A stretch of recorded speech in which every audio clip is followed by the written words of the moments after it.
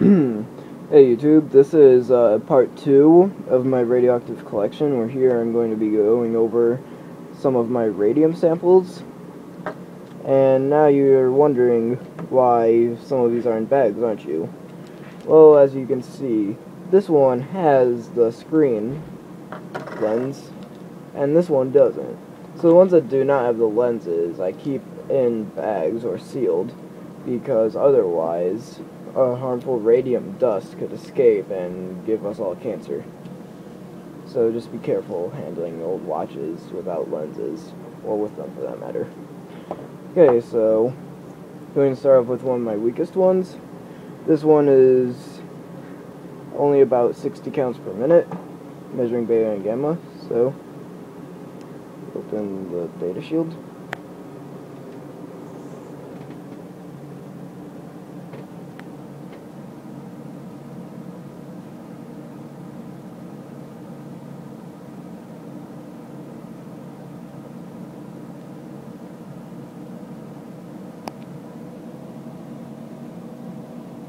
So it's spiking at just under 100 beta and gamma. Now close the beta shield. And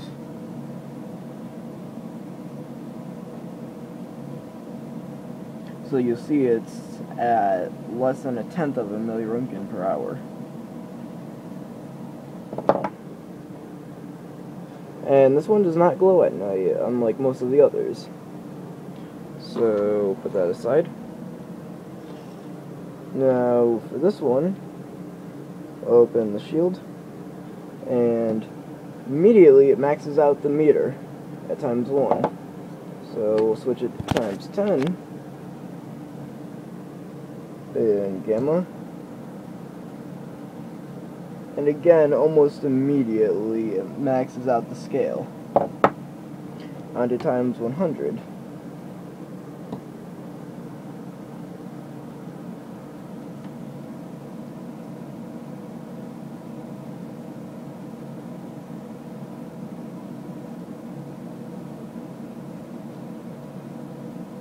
So it tends to stay at just under 10,000 counts per minute.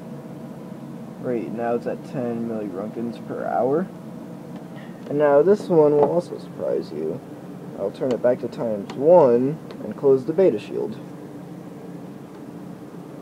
Now, as you can see, it moves, the needle moves very slowly.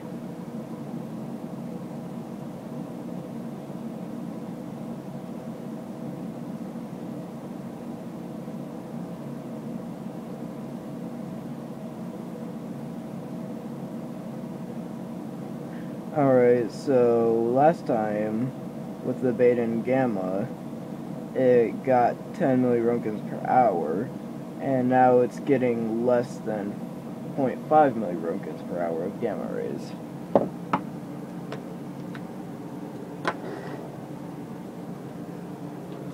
Okay, now this one's missing the hands. We'll measure it.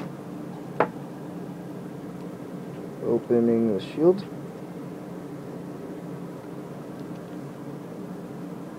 Times 1. Not nearly as fast as the other one, but maxes out the meter. Okay, so move it times 10.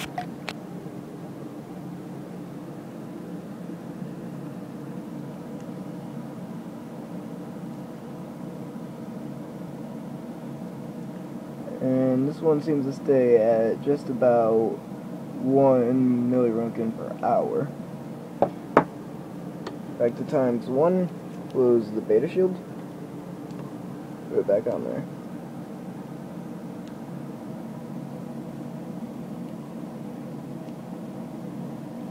And from gamma rays, we're getting practically nothing here. Okay, that one over. This one does have a lens, but it kind of shakes on the inside. Can't really see it on camera. Oh, by the way, uh, I used this one in a school project. I had to do a book report on Marie Curie, but I didn't actually read the book because I already knew enough about her.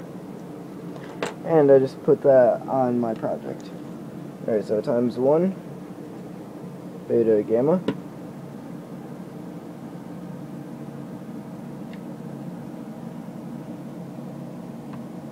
Oh, whoops, uh, accidentally closed the beta shield halfway.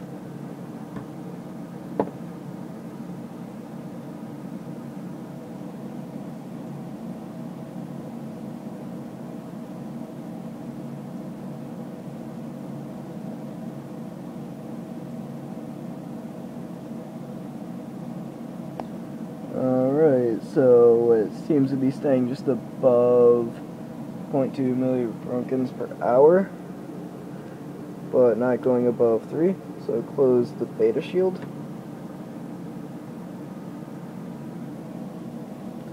And now it's staying just under 0.1 milliroentgen per hour. So move this aside. Okay, so this one, I got my finger stuck in there, is an old alarm clock.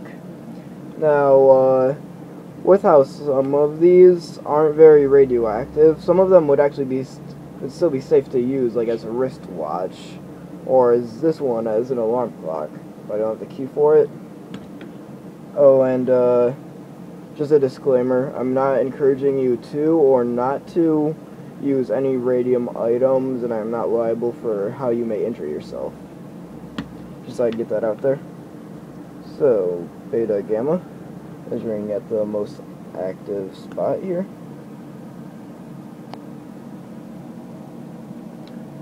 And this one is rather low, just above 100 counts per minute. Making our way between 130, 100, 160, I mean. Uh, so as you can see, this one kind of varies in radioactivity, but it hasn't gone above 0.3 milliroentgens per hour. Now switching to gamma only.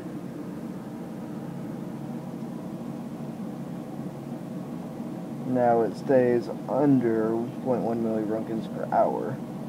So as you can see, I cannot measure the whole thing. I can only measure a side of it and parts of the hands as my hot dog probe only covers a fraction of it. Oh, this one is kind of cool. It kind of stands up on its own. There's a little clip there. Kind of neat. Oh, this one, uh, it's not strong enough to see it glow in the dark but uh, you can still use it. Oh, uh, by the way, in the dark, it's a very faint glow if you let your eyes adjust. Alright, so this one does not have a lens, so you gotta be easy on it. Okay, probe's open. This one is rather active.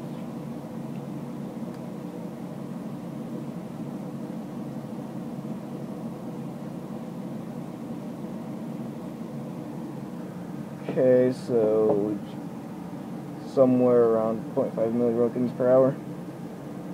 Now beta closed.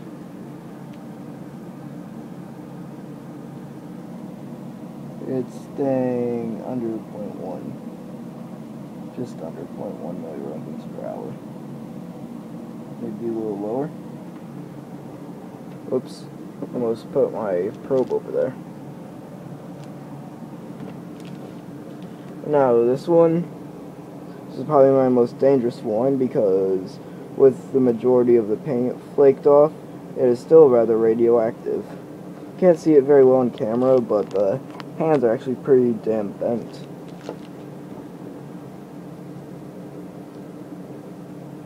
Okay, she'll open.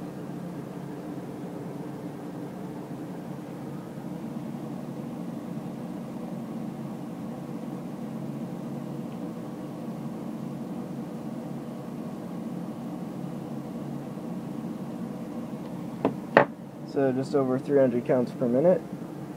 Now switching to gamma.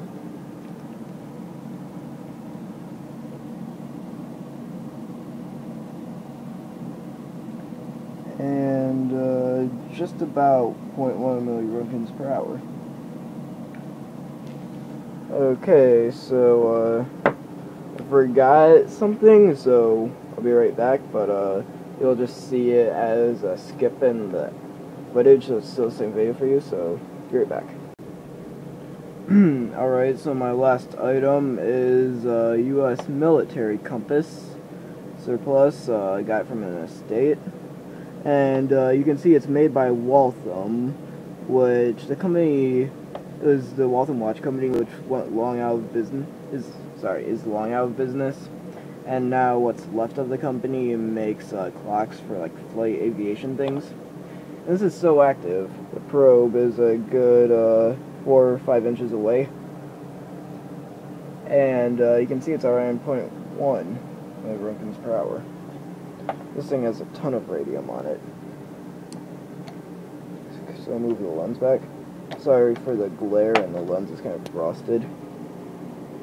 Alright, so there's radium on the lens as a and uh, there's the dial. So north is that triangle and then there's east and west, and there's no south. And now finally there's radium back there. That's so you'd be able to read it at night. Uh, Alright, so at night you can still view the radium on the dial, or I mean on the bezel ring, and uh, you can see the back. Sorry, wrong end. Uh, so you can see the stuff back here, but it's not bright enough to read it. And you can still clearly see which way is north. Sorry if I sound boring right now, please don't leave the video, it's almost over. Alright, so... Let me just turn the bezel ring so we get a bit higher of a reading. And it's maxed out the Geiger counter times 1. So the times 2.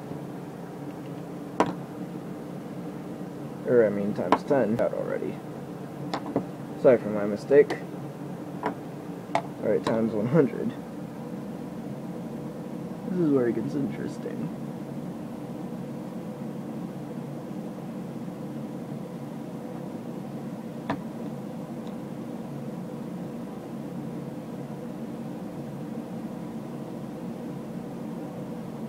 So it's at just about just over 3,000 counts per minute. But I can uh, let's try measuring it this way. Oh, uh, this actually has a radium radioactive warning because they knew about the dangers of radium back then. Try measuring it slightly differently. Should turn it up, down. Hmm maxed out quicker that time. Not sorry.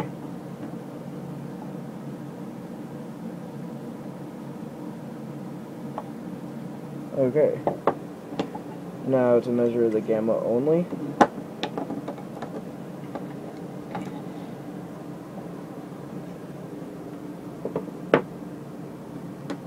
Okay, times 10.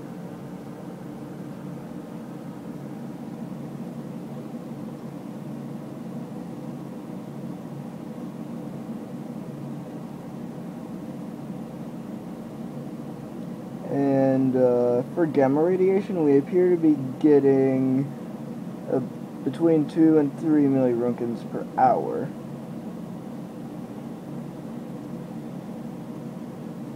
Okay, now I'm going to show you these under a black light. And then there will be some radiation safety info. Thanks for staying with me for so long. See ya. Hmm, okay, so here the watch is under a black light.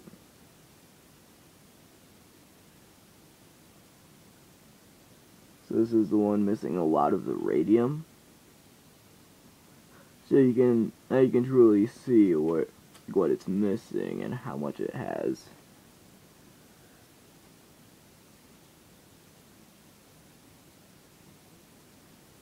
This is the clock. This one will hold its glow really long, and some of these will only hold it for about a minute before it starts to fade, or like this one will only hold it for a second.